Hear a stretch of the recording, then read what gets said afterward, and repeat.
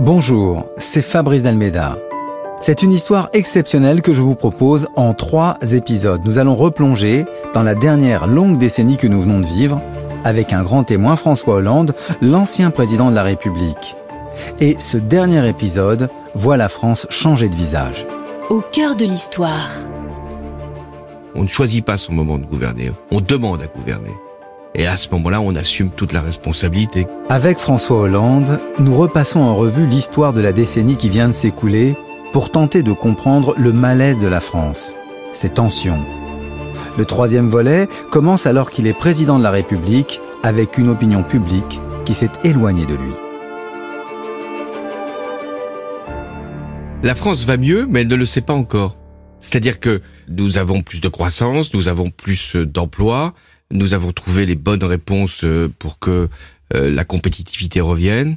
Mais les Français en doutent et ne le constatent pas forcément dans les chiffres et pas toujours dans leur vie quotidienne. La France, en, cet été 2016, est encore marquée par euh, les suites du terrorisme. Qu'est-ce qui s'est passé dans l'été 2016 Il y a eu le 14 juillet, Nice, une horreur, sur la promenade, des femmes, des enfants, des, des hommes venus de toutes parts qui sont euh, écrasés par un, camion. Et puis il y a eu ce prêtre égorgé. Donc euh, je sens bien la l'inquiétude, l'angoisse des Français qui se demandent est-ce que nous pourrons euh, vivre en paix? Est-ce que nous pourrons vivre ensemble? Et puis il y a aussi sur le plan politique, Emmanuel Macron se prépare à, quitter le gouvernement. la primaire à droite s'engage.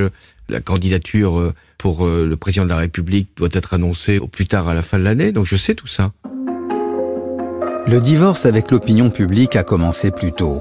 Au printemps 2016, le projet de loi El Khomri suscite une virulente réaction syndicale. Les manifestations ne sont pas entendues par le gouvernement du Premier ministre Manuel Valls. Une manifestante exprime son dépit face à la répression policière on sent une volonté de vouloir faire taire rapidement les, mouvements, dissiper rapidement. On arrive en fin de manif, nous en tant qu'organisation syndicale, et on nous demande d'évacuer vite fait, ce qui n'est jamais arrivé jusque-là. Donc oui, il y a une forme de tension qui se crée, mais parce qu'il y a une, incapacité du gouvernement à entendre euh, ce qui est demandé, et il n'y a pas d'écho. Rétrospectivement, François Hollande admet que des erreurs ont été commises et ne porte pas le même regard sur les différentes composantes de la gauche qui se sont dressées contre lui. Les syndicalistes d'abord, puis l'occupation de la place de la République, le mouvement dit Nuit debout, et enfin les frondeurs, qui n'excusent toujours pas. Ce qui se passe en 2016, c'est euh, une partie de la gauche, la contestation de ma politique ou des choix que j'ai pu faire pour euh, redresser la France, pour euh, la mettre euh, dans les voies de la compétition tout en gardant son modèle social et qui refuse toute évolution. Et qui ne comprend pas que pour que la gauche dure, pour que la gauche puisse continuer à, à préserver l'essentiel, il faut qu'elle permette à l'économie d'être solide si je reconnais une erreur, c'est que la première présentation de ce qui sera la loi El Khomri a été euh, trop brutale, à la fois parce que c'était la menace d'un 49-3 mmh. qui venait beaucoup trop tôt, et puis aussi de, de formules qui n'étaient pas des formules d'équilibre, ce que la CFDT nous faisait remarquer. C'est pour ça que j'ai demandé euh, à l'époque au Premier ministre de corriger ce texte pour qu'il puisse euh, être davantage équilibré, ce qu'une grande partie des syndicats ont fini par comprendre, sauf euh, la CGT et FO qui s'y sont opposés, et qui quelques mois plus tard ont vu ce que c'était, avec les ordonnances euh, pénicaux, la libéralisation du marché du travail. Mais il y a eu Nuit debout. Alors Nuit debout, euh, c'était intéressant parce que, et c'est là qu'il peut y avoir un peu d'analogie avec ce qui se passe en ce moment, parce que c'était la volonté de s'exprimer, de dire des choses. Quoi? C'était confus, c'était aussi une espérance, c'était euh, pour un monde meilleur, c'était pour que l'argent n'impose pas ses lois. Je, je, juge pas, mais il y avait, il y avait beaucoup de sincérité, parfois beaucoup d'extravagance. Puis après, ça s'est un peu épuisé. Mais il y avait cette exigence démocratique qu'on a souvent euh, oubliée. Il faut quand même que euh, ceux à qui on s'adresse, à un moment, ils prennent la parole et c'est pas toujours euh, inutile de les entendre. Il n'y a eu jamais de violence nuit debout, hein, je le fais observer. Euh, et puis euh, ça s'est effacé, estompé, sans que moi j'ai oublié les messages qui ont pu être lancés. Il y a eu les frondeurs. Là, les frondeurs, ils étaient au Parti socialiste, ils n'étaient pas euh, dans la gauche de la gauche. C'était pas au Parti communiste, c'était pas chez ce qui deviendra les Insoumis. Ils étaient au Parti socialiste. Ils avaient été élus sur la base de mon programme et au moment de mon élection présidentielle. Et même s'ils n'étaient pas d'accord, ils pouvaient exprimer, je trouvais que c'était légitime, des réserves. Mais de là à provoquer une opposition qui justifie une utilisation du 49.3, qui est quand même toujours une douleur, voire même à signer une motion de censure contre son propre gouvernement, là, il y a, eu un manquement, non pas à, l'esprit euh, de débat, mais un manquement à l'esprit commun, collectif, et ça a fait beaucoup de mal. Parce que comment demander au citoyen lui-même d'être euh, dans la compréhension, dans la rationalité, dans le compromis, si ceux qui le représentent euh, s'échappent de toute règle la gauche de François Hollande et de son Premier ministre Manuel Valls se veut efficace en matière de sécurité. L'état d'urgence est resté l'un des symboles de cette posture. Voici comment Manuel Valls justifiait son maintien le 19 juillet 2016. Le drame de Nice rappelle aussi que l'ensemble du territoire est visé. Et faire ce constat, ce n'est pas faire preuve de fatalisme, c'est être lucide et être lucide, c'est se donner les moyens de l'emporter. Lucide sur la menace, nous sommes également lucides sur les réponses apportées. L'état d'urgence en fait partie. Je vais vous rappeler un souvenir. Donc, 13 novembre, euh, la nuit des attentats. Dans la nuit de ces attentats, je décide de recourir au, à l'état d'urgence, Conseil des ministres exceptionnel. Nous prolongerons l'état d'urgence plusieurs mois et arrive euh, le mois de juillet. Je suis interrogé, comme tous les 14 juillet lorsque j'étais président de la République, par des journalistes pour cette fameuse euh, interview. On me demande euh, ce matin-là, est-ce que je vais arrêter l'état d'urgence? Et je dis, oui, nous allons mettre un terme à l'état d'urgence dès lors que nous aurons l'assurance que nous avons pu prendre toutes les dispositions du droit commun qui nous protège. Et le soir même, il y a l'attentat euh, de Nice et les massacres que l'on connaît sur la promenade. J'ai considéré qu'il fallait donc prolonger l'état d'urgence, mais qu'il devait s'arrêter. Le gouvernement actuel a intégré dans notre droit l'état d'urgence. Donc il n'y aura plus besoin d'y recourir puisque aujourd'hui c'est une mesure permanente. On ne choisit pas son moment de gouverner. En 2012, euh, j'ai pas dit bah c'est trop difficile parce qu'il y a des attentats possibles, parce qu'il y a des opérations extérieures que j'aurais à décider et que la, la gauche n'a pas vocation à faire euh, intervenir l'armée. C'est trop difficile parce qu'il y a la crise. On va attendre un moment. Non, on ne choisit pas son moment de gouverner. On demande à gouverner. Et à ce moment-là, on assume toute la responsabilité. Mais on, on doit garder toujours ses valeurs et ses principes. je ne crois pas. Là, je formule peut-être euh, un jugement personnel tout le monde ne sera pas forcément d'accord, mais euh, je ne pense pas que dans ce quinquennat, on a manqué à nos valeurs essentielles. Et même sur la déchéance, vous pouvez justifier parce que il y a des doubles nationaux terroristes qui pouvaient euh, voir lever leur nationalité française. Quand j'ai pensé que c'était un sujet qui divisait, qui ne rassemblait pas, je l'ai retiré. Toute personne ne pourra me dire que j'ai euh, eu sur le plan du droit une intervention qui aurait été contraire à nos valeurs communes. Si la gauche est désormais moins considérée comme le maillon faible des questions de sécurité, en matière d'immigration, la justification de la politique de François Hollande est embarrassée. D'un côté, il rejette l'idée de régularisation qu'une partie de la gauche demandait. De l'autre, il justifie l'accueil des réfugiés, masquant ainsi la question de l'immigration économique actuelle. Sous Lionel Jospin, c'était une immigration économique qui était installée là euh, sans papier depuis euh, un certain nombre euh, de mois et il y avait cette euh, décision euh, de régulariser au cas par cas. Euh, on lui a même fait le reproche que c'était au cas par cas. Ces personnes qui d'ailleurs travaillaient pour l'essentiel et qui étaient venues tout au long des années précédentes. Là, la période est différente parce qu'on est en face d'un mouvement d'afflux de réfugiés, de gens qui viennent non pas pour travailler, c'est pas le but, mais viennent pour se sauver. Et donc il fallait d'abord accueillir cela. On n'a pas accueilli d'ailleurs euh, un grand nombre hein, par rapport à l'Allemagne qui en a accueilli près d'un million. Nous, on a dû faire 60 euh, à 70 000 par an euh, pour les trois dernières années, de plus que ce qu'on faisait d'habitude, ce qui est déjà beaucoup. Donc, on a fait en sorte d'assurer cet accueil pour les demandeurs d'asile. Deuxièmement, on a réglé une situation qui était particulièrement douloureuse, c'était les campements, c'était Calais. Et le fait qu'on ait pu répartir sur tout le territoire tous ces réfugiés de migrants qui étaient à Calais, je crois aussi fait partie de la dignité de l'action publique. Mais la vie politique reprend ses droits. Durant l'année 2016, une personnalité prend son envol, Emmanuel Macron. Cet ancien secrétaire général adjoint de l'Élysée, devenu ministre de l'économie de François Hollande, décide de créer son propre mouvement partisan le 6 avril 2016. Le voici expliquant sa démarche à la presse. J'ai mis du temps, j'ai réfléchi, j'ai consulté, j'ai associé beaucoup de gens et j'ai décidé qu'on allait créer un mouvement politique. Un mouvement politique nouveau. Un mouvement politique nouveau. C'est-à-dire, c'est un mouvement politique qui ne sera pas à droite, qui ne sera pas à gauche. François Hollande ne réagit pas à ce moment. Sans doute n'en a-t-il pas perçu la portée. Visiblement, c'était un mouvement qui visait à se substituer euh, aux autres partis et particulièrement euh, au Parti socialiste à un moment où il se crée. Maintenant, il est plutôt dans la version de substitution d'un parti de droite ou du parti de la droite euh, jusque-là connu. Voilà pourquoi j'ai au départ pensé que c'était plutôt dans un enrichissement commun.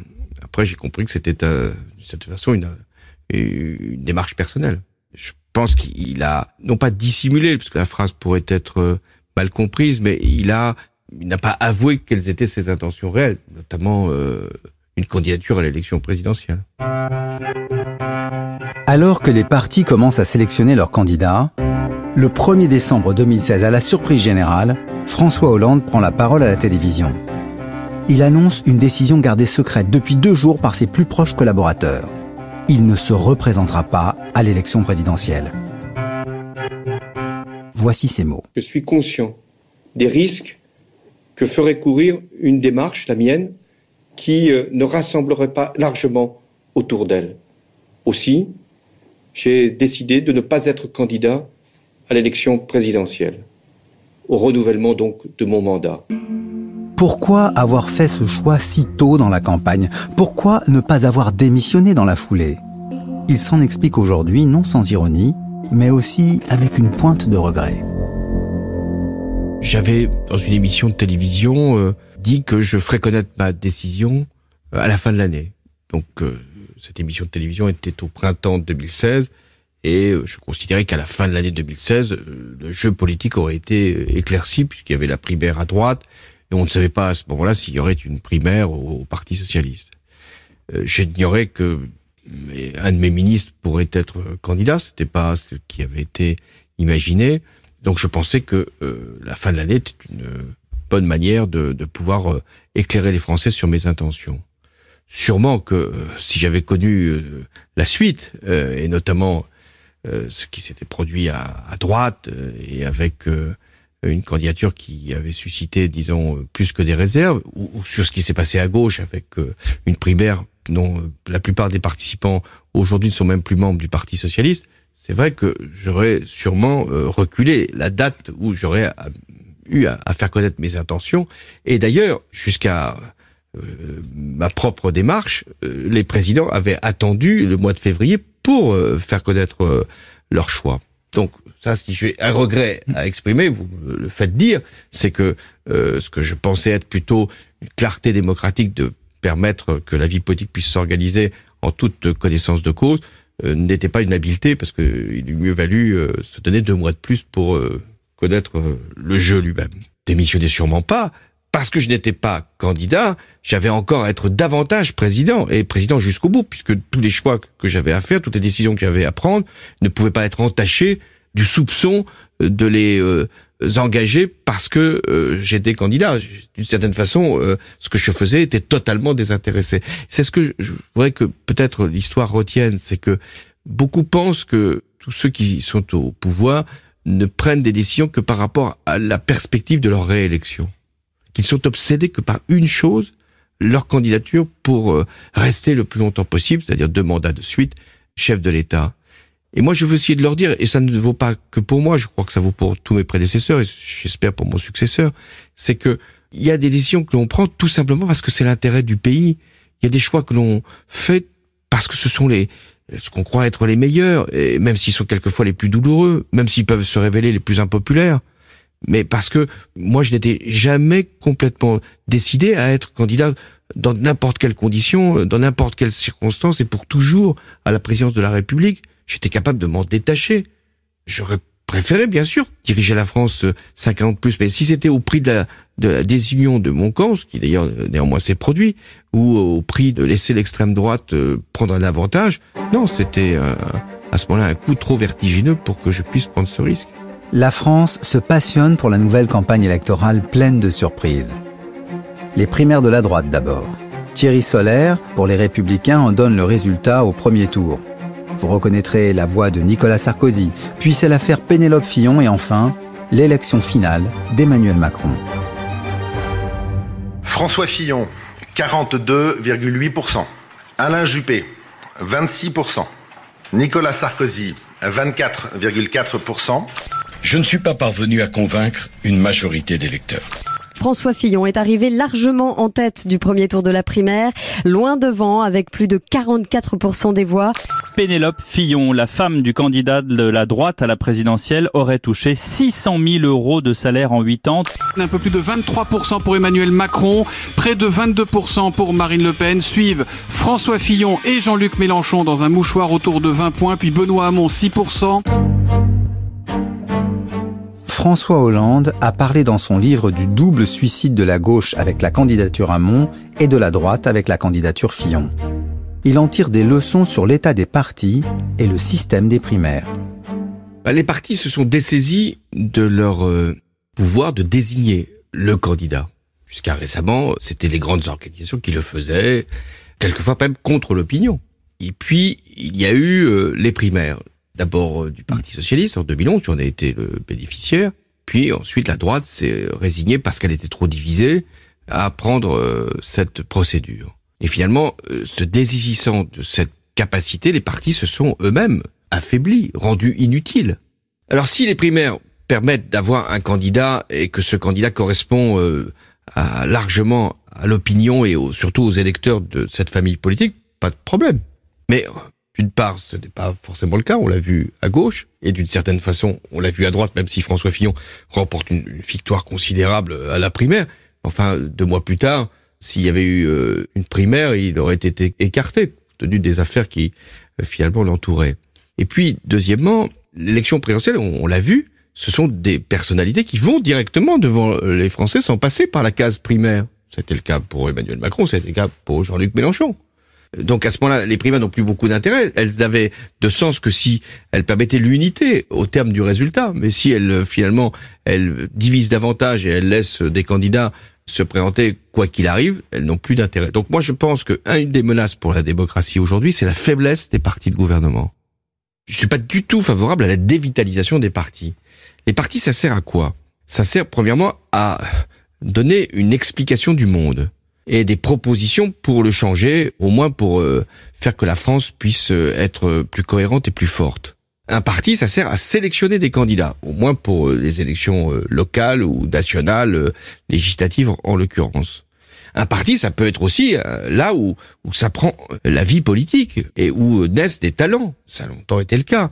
Et il peut y avoir de ce parti un candidat ou une candidate qui s'élève au niveau de la candidature et ensuite convainc l'opinion de la suivre. Mais il vient de, de quelque part. Il est d'une culture politique. Mm. Et moi, ce que je crois être le plus dangereux aujourd'hui, c'est la faiblesse des partis. Parce que sinon, ça sera le règne de candidatures individuelles qui ne sont mues que par euh, leur propre ambition ou euh, de partis euh, populistes, nationalistes, extrémistes qui, eux, existent et qui ne s'embarrassent pas d'ailleurs de procédures démocratiques en leur sein. Depuis son départ de la présidence de la République, François Hollande s'est placé en situation d'observateur attentif. Il sillonne la France. Sur la route, il rencontre des Français un peu différents de ceux qu'il avait croisés dix ans plus tôt. Il a retrouvé une popularité qu'il n'avait plus pendant son mandat. Comme chacun, il a été témoin de l'explosion du mouvement des Gilets jaunes. On est là pour le pouvoir d'achat les, gens n'ont plus confiance en ces politiques. Et c'est pas de la jacquerie, c'est pas du populisme comme on essaye de le faire croire. C'est pas ça. Ça sort des tripes des gens et c'est forcé que ça, ça explose. Le problème principal dans la décennie, ça a été le chômage. Et euh, au nom de cette bataille-là, beaucoup en ont euh, rabattu sur leurs exigences en termes de pouvoir d'achat. Et on fait en sorte de tenir bon, euh, de se serrer la ceinture à tous les sens du terme, pour que euh, la priorité majeure puisse être euh, assurée.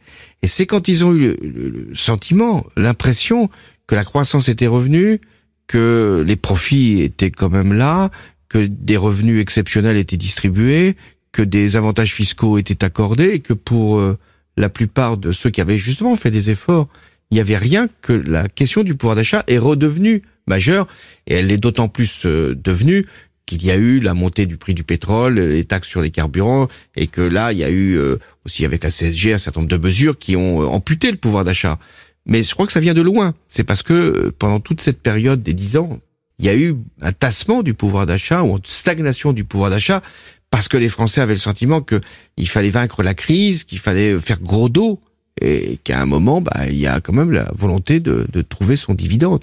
Quand le dividende est aussi mal distribué, c'est là que la colère peut gagner. Ce qui est vrai, c'est que une partie de la France qui travaille a la conviction qu'elle n'a pas sa part et qu'elle n'a pas euh, son retour. Donc euh, il est très attaché à un certain nombre d'acquis, mais il voudrait que son travail soit davantage valorisé. Et puis il y a un sentiment qu'on avait sans doute mal euh, compris ou mal perçu, c'est la solitude.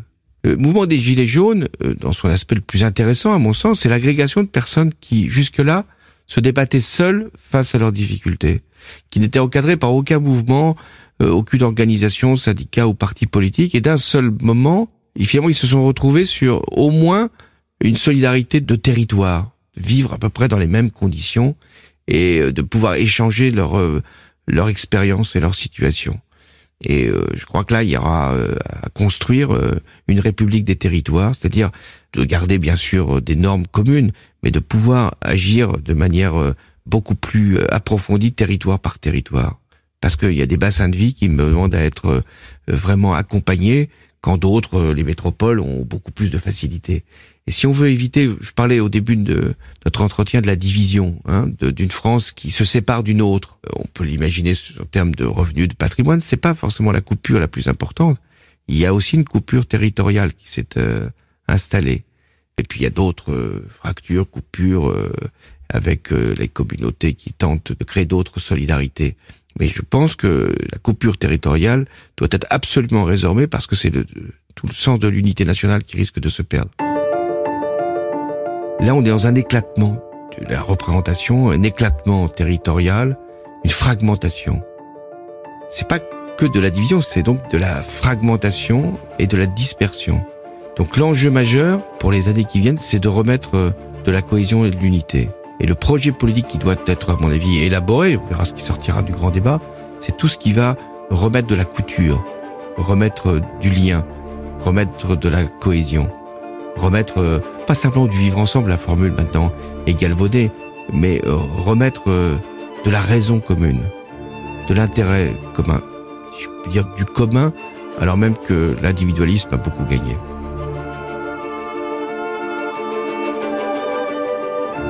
Au moment où ce récit s'achève, un constat s'impose. Le pouvoir d'un homme, sa parole, fut-il président de la République, ne peut pas guérir les maux d'une nation. L'histoire reste ouverte dans une France qui a déjà surmonté bien des crises. Maintenant, comme le disait le général de Gaulle pour le peuple français, tout dépend de son effort et de son essor.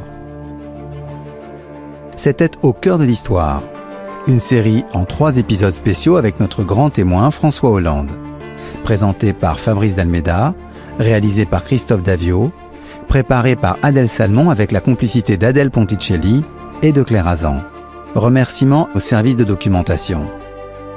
Ce programme était proposé par Europe 1 Studio et vous pouvez le retrouver ainsi que les autres émissions sur toutes vos plateformes d'écoute habituelles et sur le site d'Europe 1.